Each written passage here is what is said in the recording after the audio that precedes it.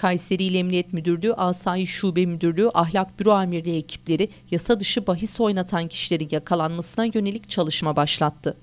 Yapılan istihbarat çalışmaları sonucunda Kayseri'de yasa dışı bahis oynatanın MY isimli şahıs olduğu tespit edildi. Çalışmalarını genişleten ekipler aynı zamanda MY'nin yanında 10 kişilik bir ekip olduğunu ve HY ile İY isimli şahısların da yasa dışı bahis içinde saha sorumlusu, kasa veya çekçi adı altında MY'nin yardımcılığını yaptıklarını belirledi.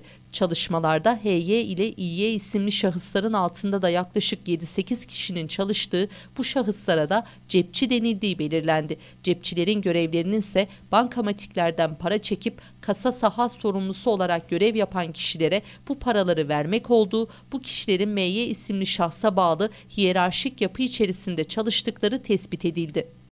Ekiplerce bir yıldır yapılan fiziki ve teknik takip sonucu şahısların yasa dışı bahis işlemlerinin bir internet sitesi üzerinden yaptıkları cepçi olarak çalışan şahısların 3 vardiya halinde 24 saat kesintisiz çalıştıkları mesai saatlerini kimin hangi muhitte ve hangi bankamatiklerde çalışacağını saha sorumlusunun belirlediği bir muhitte en fazla 2 saat çalıştıkları, yakalanmamak ve dikkat çekmemek için sık sık bölge değiştirdikleri bu şahısların yaklaşık 6-7 ay gibi kısa bir zaman dilimi içerisinde 81 ilde hesaplarına toplam 183 milyon TL para girişi olduğu tespit edildi.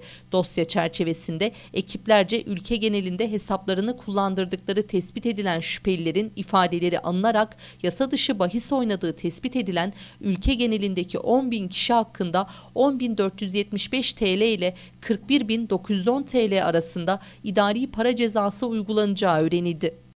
Yasa dışı bahis eylemlerine katılan ve organize bir şekilde hareket ettikleri değerlendirilen suç örgütünün lider ve yönetici kadrolarındaki 11 kişi Kayseri'deki 10 ayrı adreste ve Mardin'de düzenlenen eş zamanlı operasyonla yakalanarak gözaltına alındı. Emniyetteki işlemleri tamamlanan şüpheliler sağlık kontrolünden geçirilerek adliyeye sevk edildi.